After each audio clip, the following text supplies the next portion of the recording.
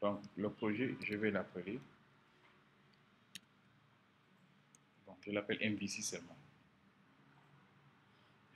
Et là, je vais l'ouvrir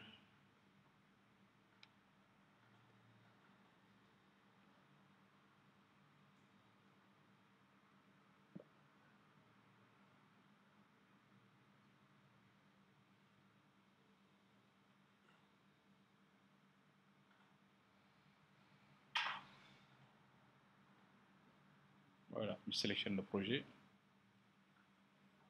Ok, bon, maintenant, ce sera un projet euh, qui va respecter une architecture très organisée. Donc, première chose à faire, je vais créer un dossier nommé SRC. Bon, vous avez vu que pourquoi SRC Parce que là, je vous ai expliqué qu'on va utiliser pour l'ORM doctrine. Et si vous regardez bien tout à l'heure, lorsque j'ai ouvert en fait euh, doctrine get stat, là, au niveau de la documentation, là même au niveau de l'entité, vous avez vu que dans la configuration, c'est précisé quelque part qu'il y a SRC. C'est-à-dire les entités, on va les créer dans SRC, donc on va prévoir ça. Donc dans l'application, on crée un dossier nommé SRC. Et tout ce qui est modèle vue contrôle également, on va le mettre dans SRC. Donc je pense par ça. Je vais maintenant sélectionner SRC. J'ai créé un dossier modèle, allez-y. Allez-y. Vue également dans SRC. Et contrôleur aussi dans SRC.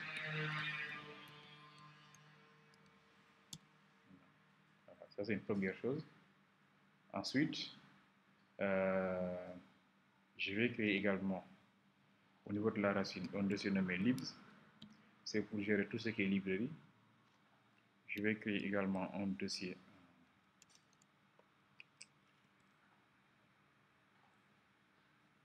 sur la racine du projet, un dossier nommé config.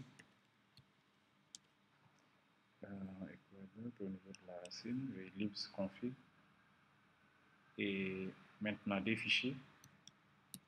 Un fichier nommé index.php un fichier ht access. Voilà. Pour le moment je crois que l'architecture c'est bon comme ça.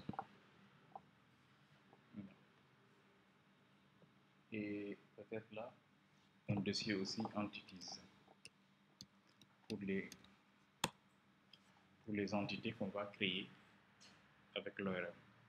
Et on ajoute également un fichier nommé composer.